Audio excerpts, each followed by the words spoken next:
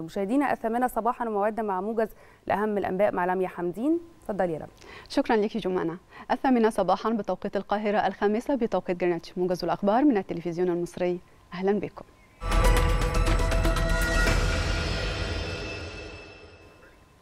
أكد الرئيس عبد الفتاح السيسي حرص مصر على تعزيز العمل الجماعي الدولي بما يحافظ على السلم والاستقرار ويدفع في اتجاه إصلاح منظومة الحوكمة المالية الدولية.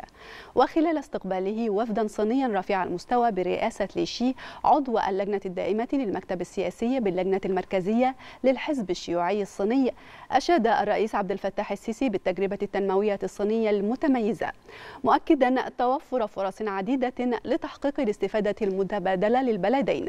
كما أعرب الوفد الصيني عن التقدير للدور المصري الفاعل في استعادة الاستقرار وكذلك رؤية الصين الإيجابية لما تشهده مصر من تطور تنموي.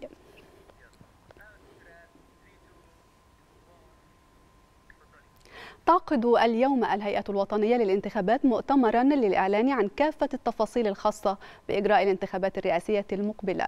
ومن المقرر أن يعلن المستشار وليد حمزة رئيس الهيئة خلال المؤتمر قرار مجلس الإدارة بدعوة الناخبين للانتخاب والجدول الزمني لإجراءاتها ومواعيدها.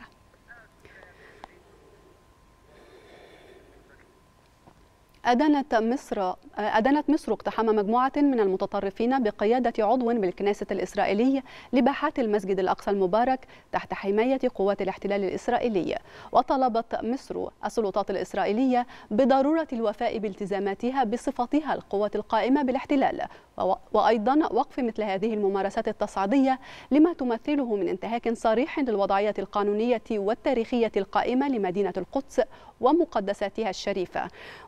مشددة على ضرورة احترام الوضعية القائمة للمسجد الأقصى المبارك والحرم القدسي الشريف باعتباره وقفا خالصا لعبادة المسلمين. وجددت مصر مطالبتها للأطراف الدولية ذات التأثير بالإطلاع بمسؤولياتها تجاه حماية مقدسات الشعب الفلسطيني والدفاع عن حقوقه المشروعة.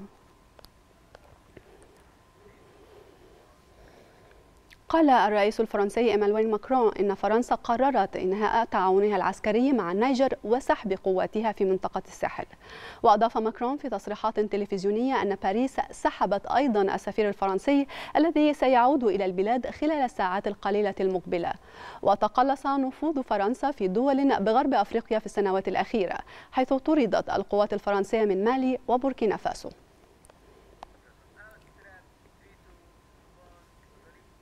واصل الأرمن في ناغورنو كاراباخ نزوحا جماعيا باتجاه أرمينيا حيث عبر أكثر من ألف شخص إلى يريفان في إقليم كاراباخ.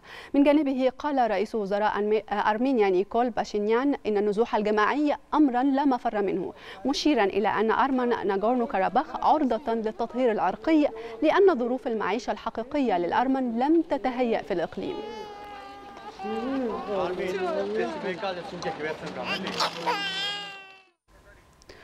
وصل آلاف من عمال قطاع صناعة السيارات في الولايات المتحدة إضرابهم عن العمل من أجل تحسين ظروفهم المعيشية. وكانت المفاوضات قد فشلت بين نقابة عمال السيارات وثلاث شركات بمدينة ديترويت الأمريكية مع استمرار إضراب العمال بسبب تدني الأجور. هذا وسيتوجه الرئيس الأمريكي جو بايدن إلى اعتصام في ولاية ميتشيغن غدا الثلاثاء تعبيرا عن تضامنه حيث قال في وقت سابق أن الوقت قد حان للتوصل إلى تسوية ترضي الجانبين بين شركات صناعة السيارات ونقابة عمال السيارات المتحدين.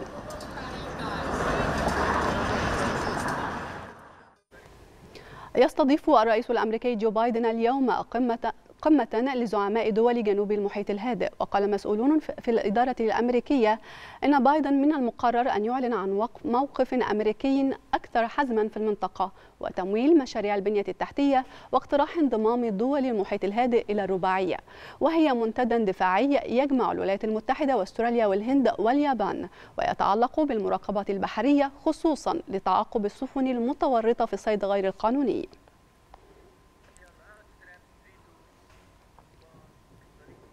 أعلنت وكالة الفضاء الأمريكية ناسا عودة كبسولة من مهمة أوسيريس ريكس إلى الأرض على متنها عينات من حطام كويكب لتفتح المجال أمام العلماء باستكشاف مسار تطور النظام الشمسي. وجمعت أوسيريس ريكس عينتها قبل ثلاث سنوات من كويكب بينو وهو كويكب صغير غني بمركبات الكربون اكتشف في 1999 وهذه العينة هي الثالثة التي تنقل من كويكب أو تنقل من كويكب إلى الأرض لتحليلها. وذلك بعد مهمتين مماثلتين لوكالة الفضاء اليابانية انتهيتا في 2010 و2020 لكن هذه العينة هي الأكبر على الإطلاق.